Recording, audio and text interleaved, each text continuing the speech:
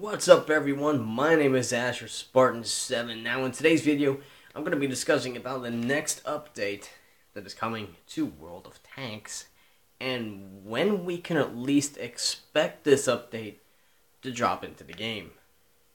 So, if you guys have been able to follow Wargaming's weird thing that they've been doing recently, they've been doing a lot of personal meetups in public and meeting all their fellow commanders, which is really, really nice. I, I like that side, that kind of stuff. But they have not said a single thing about the next update, which on the PC is 9.20.1, but for us it is going to be update 4.6. Now, this update has a lot of stuff coming, um, and I'm trying to hopefully get it done.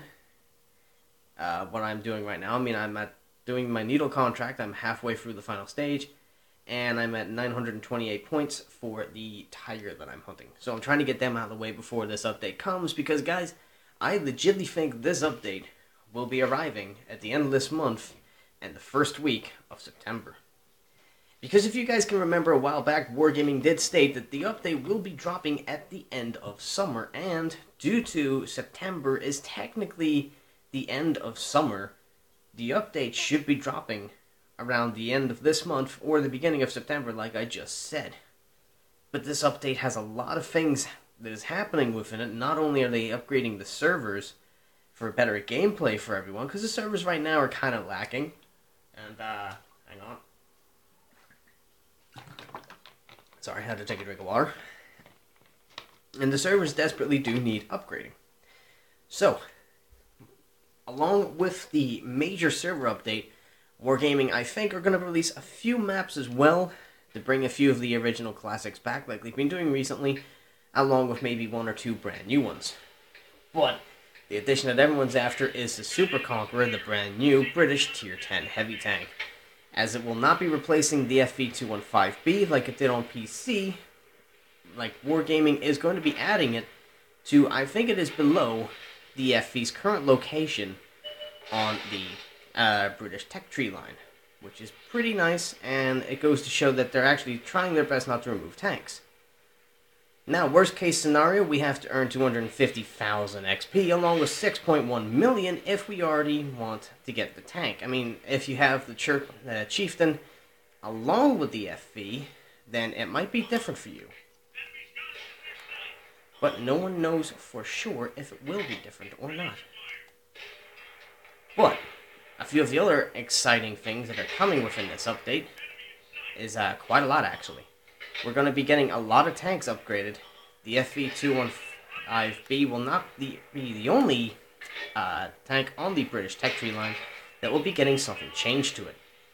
The Challenger, Carnarvon, Centurion, FV4005, and the uh, the Conway will also be tanks getting something done to them. Wargaming have stated that this is going to happen because they need it to. Well, they don't actually need it to, that's a lie. but a lot of people are complaining that the tanks are severely underpowered and they need upgraded. And in Wargaming's own fair statement, they do. The Challenger really sucks as a Tier 7 British tank destroyer. The Conway does need a better gun. Its armor is quite nice at this point in time, but that is about really all that the Conway is, is a nice supporting tank. As for the Carnarvon, it's going to be getting its turret changed around, along with the Centurion Action X, believe it or not. That will be another tank that will be getting its gun and, sorry, its turret changed around. Now, aside from the uh, obvious updates of the British line, there's also going to be a lot of tanks getting their HD skin. Uh, I think the Churchill 1, the KV4, and there's a few other tanks will be getting their updates for their skin. Now, on top of this as well, we also got the Patton is going to be getting its more futuristic look with the update, which is very, very nice. Wargaming are bringing in that one in. And uh, I'm trying to remember what the other tank is that they're also going to be bringing in with this. I honestly cannot remember as it is too uh, complicated for me to really say because I'm an idiot at the end of the day. And I'm pretty much dead.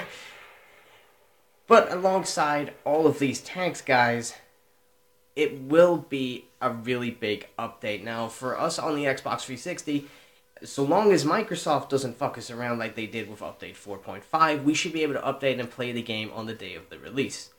But due to Update 4.5 being so difficult and Microsoft not giving us the correct uh, patch update, unfortunately we had to wait an extra two more days of 4.5 before we could even play.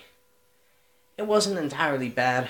Anything that you did have, I mean, I had Premium Wargaming happily refunded me for that due to what obviously happened. But this update will be one of the biggest updates that we have ever seen yet. So on 360, I'm guessing the update is going to be maybe 2 gigabyte, and on the Xbox One and the PS4 side, I don't know. I'm guessing you guys might end up getting a, a 5.5 or maybe a 6 gigabyte update. Because this thing has a lot of things coming to it. If you guys want to know what all's coming, Wargaming even stated a few weeks ago that anything sorry, half of the things in the patch update notes from 9.20.1 is going to be making it into update 4.6. All the tank things are going to be making it in. Anything to do with a tank, it is going to happen. But obviously, there's some other things that will not be happening. Uh, I think there's going to be like rank battles and different stuff that PC was currently having at that time.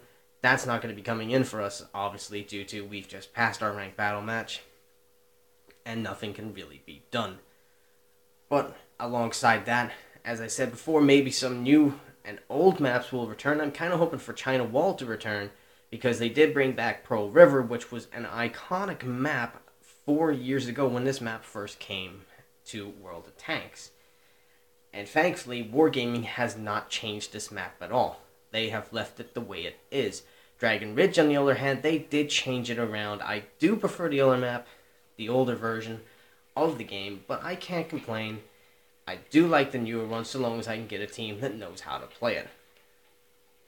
Now, on top of that, obviously, um, we're going to be having, I think, maybe some more of our mercenary tanks added because they did state Wargaming that when the mercenary tank update came out that there will be more added over time and obviously 4.6 is a pretty big update so maybe they'll slip in one or two more brand new mercenary tanks for us to go after and for us to go and um, uh, win ourselves.